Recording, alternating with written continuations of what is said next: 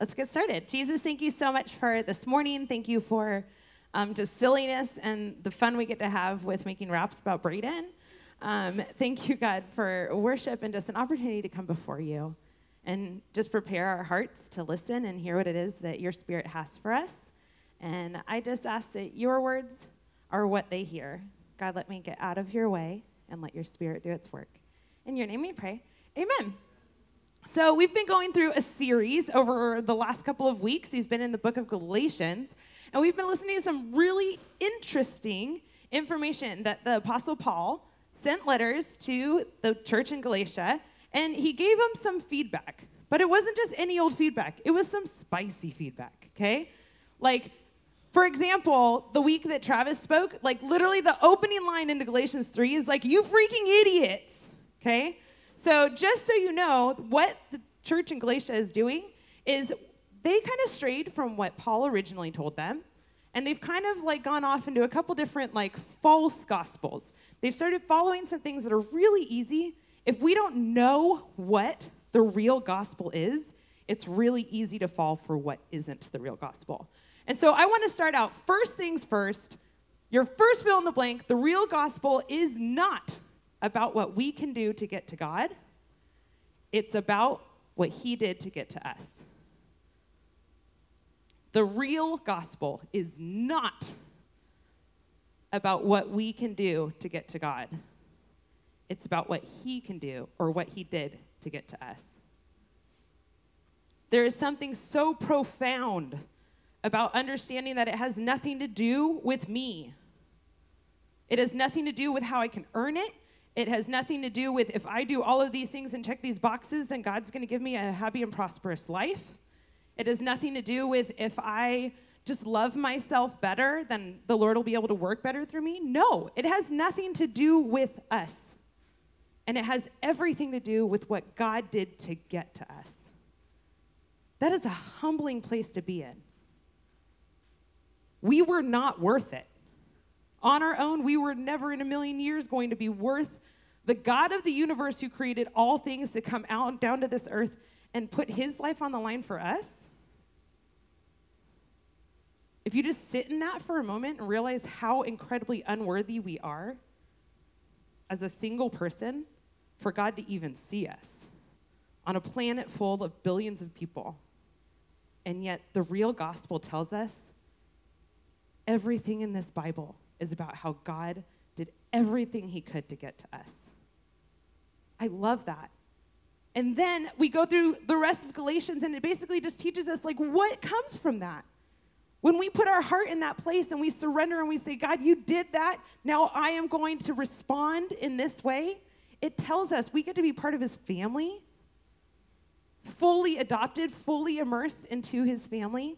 And then something that I absolutely love that Shara shared on her week and that I wrote in my Bible because I was like, goodness, Jesus, that was so good, is your next fill in the blank. It says, faith alone saves. But faith that saves is never alone. Faith alone saves. But faith that saves is never alone. And we're going to read today in Galatians 5. So if you want to start popping over there after you fill in alone and alone, um, to Galatians 5. We're going to be reading in there and looking at what does it mean to have faith not be alone? If we've surrendered our life to Jesus, if we've given it over to Him, then what does it mean for my faith to not be alone? All right. You can catch up. You can get to Galatians 5 if you haven't got there already. I'm going to start in verse 13. Galatians 5, verse 13. All right, it says, For you were called to be free, brothers and sisters, only don't use this freedom as an opportunity for the flesh, but serve one another through love. For the whole law is fulfilled in one statement love your neighbor as yourself. And right there, if we're going to just stop there for a second. So, first, I just want to get a type of false gospel out of the way is that when we think, well, love your neighbor as yourself, and I have this freedom in Christ, okay, he's released me from sin. Sin is not my master anymore. That means I'm going to take my flesh, which is a really gross word if you think about it. but my humanity and my sinful nature, okay, and I'm going to say, all right, Lord, now I'm going to step into the spirit side of myself because you are now the owner of me. You are the king of my spirit, okay? So if we're going to take that freedom, some of us still can live in this place where we're like, well, I was diagnosed with ADHD, so I'm just going to live there and I'm going to excuse all the things that I do because this is my diagnosis. Or I'm going to say, I grew up in a really loud family, so I'm just loud and obnoxious, and I am not going to operate in a way that like quiets or calms down for other people. Or you could just be like, I just, I just like telling the truth so much that sometimes I'm really blunt and say mean things. And you just excuse these things because you're going, well, this is who I am. This is how the Lord made me to be. And that may be so, but that is a very human version of what we were made to be. And God is saying, I have made you. Yes, I built these things in you on purpose. I'm not going to waste them, but I also need you to surrender them. I also need you to be able to use them in a way that serves me, God, not serves you, human. And so that's where Paul is coming in here and saying, Galatians, like you've gotten so off course here because now you're using this freedom of who you are in Christ to just go, well, that's who I am. I'm just going to be mean. I'm just going to be malicious. But you have to go back to this one important statement love your neighbor as yourself. You have to go back there. So now we're going to read on, okay? So that's like the platform from which he's starting. We're going to start in verse 16, Galatians 5:16. This is kind of a long passage, so buckle up, girlfriends and boyfriends. I say then, walk by the Spirit, and you will certainly not carry out the desire of the flesh. For the flesh desires what is against the Spirit, and the Spirit desires what is against the flesh. Those are opposed to each other, so that you don't do what you want to do. But if you are led by the Spirit, you are not under the law. Now, he's going to talk about all the things that we do or can fall into if we are in the flesh, in our humanness. Now, the works of the flesh are obvious sexual immorality, moral impurity, promiscuity, idolatry, sorcery. Okay, so far, super unrelatable, and I hope so for you guys, okay? But we're going to get there. Hatreds. What? I hate people. What? You guys don't hate people? Okay, tis the season. Be honest. Jeez. Um, strife, jealousy, uh, 10 out of 10, I've been jealous. Outbursts of anger. Well, does anybody here have an annoying sibling? Okay, here we are, living in our humanity. Dissensions. hold on, hold on. This isn't, a, this isn't a support group. I know it feels like it right now. It really does. All right, we're still jumping back in here in verse 20. So, outbursts of anger, selfish ambitions, dissensions, factions. Ever heard of a clique? A clique? Okay, so have you ever been like a, around a group of people that are like, no, this is our squad? And now you're not in it. You don't meet the criteria to be part of our cool club. Okay? That is a faction. Stop it. I'll move on now. Envy, Drunkenness, nope, don't do that. Carousing, I honestly don't know what that word means. And anything similar. I'm warning you about these things as I warned you before that those who practice such things will not inherit the kingdom of God.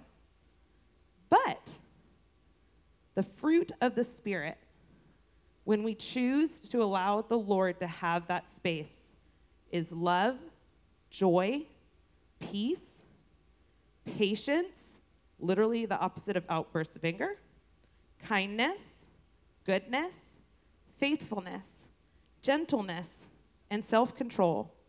The law is not against such things. There's literally no law ever against such things. Now, those who belong to Christ Jesus have crucified the flesh with its passions and desires. And if we live by the Spirit, let us also keep in step with the Spirit. Let us not become conceited, provoking one another, envying one another. Oh my gosh, those are two very contrasting lists. But I think we can agree that if we're just operating out of our own selves, it's really easy to follow under that first list because there's no accountability there. But when we choose to surrender and when we have a life that is spirit led and spirit filled, we are always going to have some sort of change. Always. Because this work of the Spirit is for Him to change us from the inside out. And so, this second little group of words of description, okay, the fruit of the Spirit, is what He's promising us. When people talk about promises of God, you don't have to literally say the word promise in the scripture for it to be a promise. He promises here that if we have surrendered our lives to God, if He is filling us, then He promises that we're going to have these fruit. Okay, but a couple things. One, confession. I hate fruit. Okay? I know. But guess what, guys? When you grow up and you're adult, an adult, you don't have to like fruit. You can do whatever you want. You might not live as long as other people who do like fruit, but you still have that opportunity. But two, something else to understand here is there was a lot of qualities that he listed there, but it only said one fruit. Right? Whoa, was that a typo? Guys, no, it wasn't. Let me explain it to you like this. Let's say after church today, we're all going to head on over to In N Out. Okay? If I order a number two, okay, that is all encompassing. I don't need to say, I would like a number two, which please includes a fry and a soda and two pieces of bread and a piece of meat and a cheese and a lettuce and a tomato and some onion and some sauce. And maybe can I add spread? And can, like, no. When I say a number two, they know what I'm talking about. In the same way, when he says the fruit of the Spirit, it's the whole thing, it's the whole package. This is what the Spirit is promising us. And it's not a tree that has a whole bunch of like singular fruits. Every fruit has all of these qualities. And so you might be asking yourself, and I might be asking myself, why fruit? Why didn't you make it the cheeseburger of the Spirit? But I can promise you there's some really good reasons, okay? So we're gonna dive in here. Three things that we need to know about fruit that helps us understand what the fruit of the Spirit are about. The first thing, okay, the first thing that we need to understand is that if we are spirit led, if we have given our lives to Jesus and we are spirit filled, we will have fruit as evidence because fruit grows on, grows because the branch is connected to the tree. Fruit grows because a branch is connected to a tree. This seems super obvious. This is biology 101. But here's the thing fruit doesn't grow on its own. There's not just a magic orchard where fruit is floating in the air. Okay? It has to have a tree that is planted in soil, it has to be watered, it has to have sunlight, it has to be tended to. And we, as believers, have the privilege of having God, the most perfect and righteous thing ever in the whole wide world, be what we are connected to. And that's what creates our fruit. I'm going to flip over real quick and I'm going to read you a passage from John 15. If you want to jump over there, you're more than welcome to. John 15. This is a passage that the disciple John wrote, one of the disciples that was one of Jesus' besties. And so he's talking about, he describes this. He says, I am the vine, the true vine, talking about Jesus. Jesus is the true vine, and God is the gardener.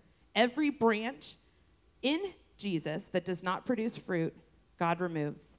And God prunes every branch that produces fruit so that it will produce more fruit. And then down in verse 4, it says, Remain in me, and I in you.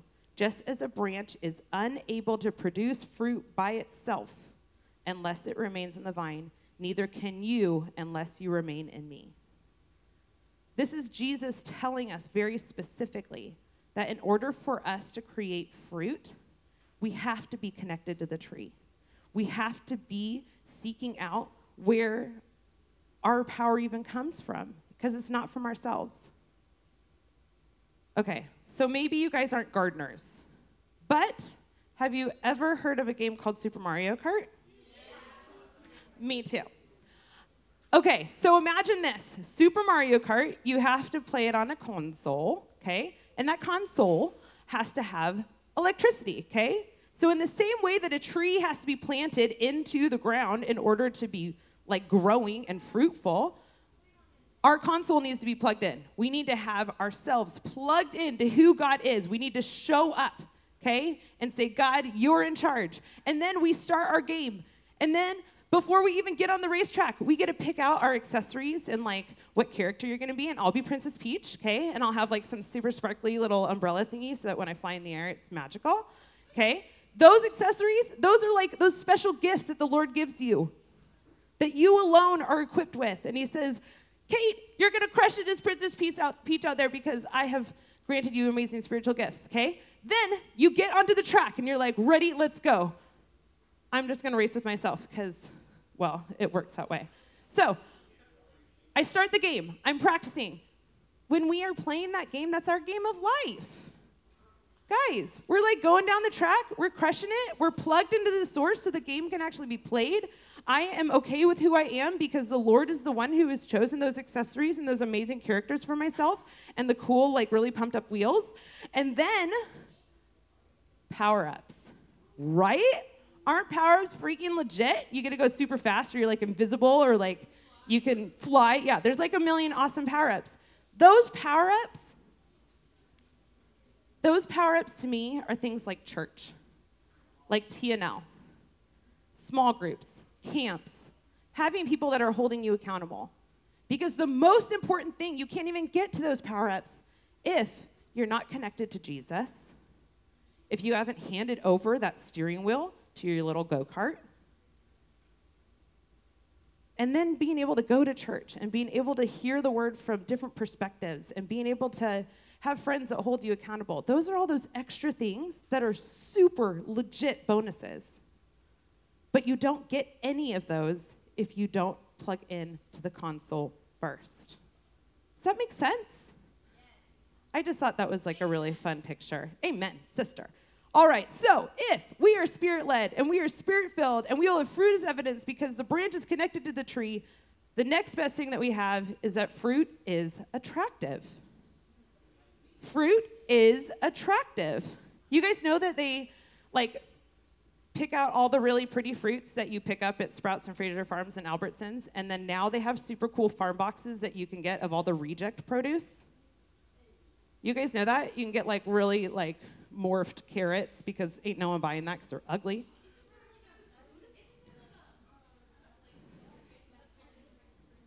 Yeah, probably. That sounds like a perfect name. Yes, that's what I'm saying. Okay, Maggie is tracking with me. So, in that same way, if we are connected to the most healthy tree that there ever was because it is God and He is perfection, then we are going to be able to be connected to that, and then we're going to be able to create attractive fruit. But just like how there's ugly, gross, weird, um, deformed fruit, I think sometimes when we do the fruit of me and not the fruit of thee, that sometimes our fruit can look kind of yucky. I think some of you guys may have encountered at some point in your life people who say that they're believers, but they certainly don't act like it. And then they give us a bad name.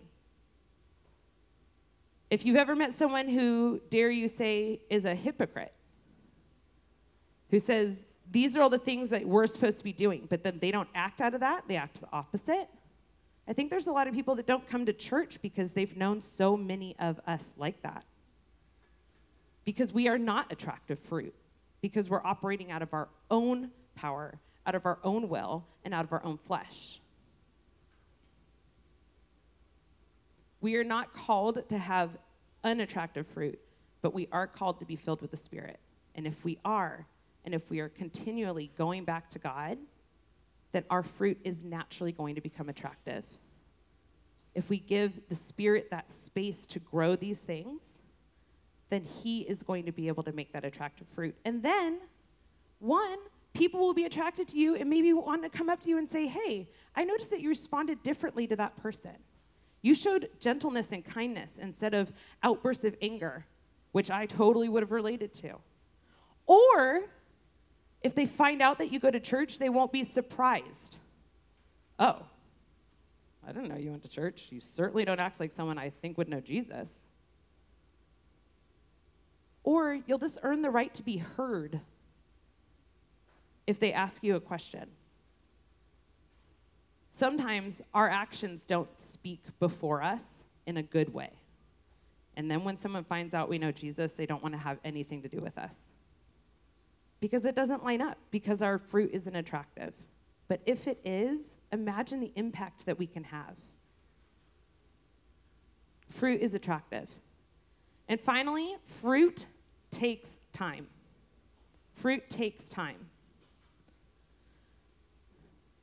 This is something that I really want to give you all permission with. I think sometimes it can sound really overwhelming to have all of these traits just like magically born out of us love, joy, peace, patience, kindness, goodness, faithfulness, gentleness, self control. It's a lot. That's like a big mantle to have to wear. But fruit doesn't just appear, it doesn't just magically show up on a tree. Did you know that an apple tree, it, from seed to bearing one fruit, one to two years, which is actually pretty fast for a fruit tree, okay? One to two years for an apple tree. Orange tree, three to five years. For one fruit, for just fruit to grow strong enough to have dug its roots deep enough, for it to be nourished enough to not just grow leaves, but to grow fruit. Three to five years. Avocado tree. Avocado lovers in here? See, if you live in SoCal, you know the beauty of avocados. Okay, avocados, five to 12 years. Okay, so if you want to have an avocado tree growing in your backyard, you better hurry up and plant that seed because you're going to maybe have a sandwich in 12 years. Okay, so what the Lord is teaching us here in this passage, specifically calling these the fruit of the Spirit, is that it takes time. Lower the bar for yourself. It's not going to be instant. It's more likely that simply as we show up, and by show up, I mean we specifically and intentionally spend time on our own with God. And then when we have those moments where I decide specifically for myself, I need to take a hot second before I just blurt out anything that's in my head. That's me giving space for the Spirit to put one of His fruit. He's giving me the self control to be able to say, oh, pump the brakes, girlfriend. I have something to do here. I brought this plant because I'm in no way a horticulturalist, but I am super relevant because I have a pothos in my house. So, because I brought this here, it's so far staying pretty much alive. Just like um, in the John 15 passage, there are pieces like that I have to take off. There are some dead leaves here that if I don't take them off, they're just going to waste energy for this plant to grow. And somebody might walk into my house and might go, Whoa, look, you're keeping this pothos alive. And be like, Yeah, toss, toss. I know I'm doing so good. But I also like to propagate them. I figured out how to do that. Propagating means I can like break off one of these stems and then I can grow more plants out of it. It's pretty neato. I can see little roots growing on some of them already. But if I do that, a really interesting thing happens. Each one of these leaves on this plant and on any other stem that I pull off and propagate, it takes a full week for one of these leaves to grow. A full week. That doesn't count the leaves that I have to prune off. That doesn't count the leaves that for some reason have a buggy through them and so they don't even thrive at all. But if you look at this whole plant and you set yourself up to that bar and say, I'm going to have all of these fruits instantly. I gave my life to Jesus, so how come I'm not being more kind? How come I'm not being more loving? How come I don't have joy all the dang time? Lower that bar. The real gospel isn't about what you can do to earn God, it's about what He's doing for you. Give Him the time to make all of these leaves, give Him the time to share that fruit with you.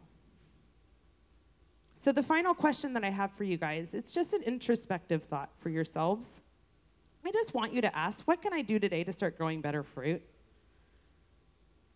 Like for me, does it mean like you need to set an alarm to wake up and spend time with Jesus on purpose without your phone?